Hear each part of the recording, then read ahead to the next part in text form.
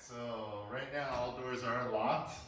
To get the wheels to engage the ground, you do have to do that to take the weight off the door and open. But before we go any further, we gotta get all wheels moving. So we will disengage the locks and get the wheels off of the door and be able to move them all. At that point, it should be easy, but we do not want to bang the doors together. So we move along, get the next door, kind of accept the weight.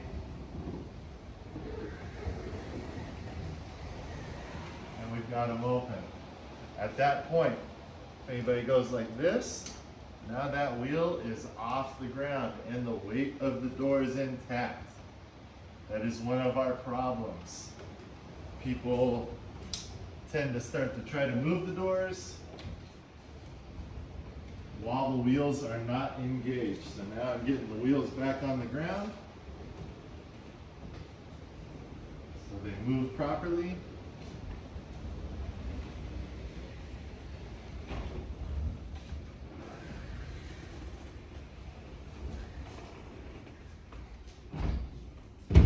Once again to lock, door is locked. That being said,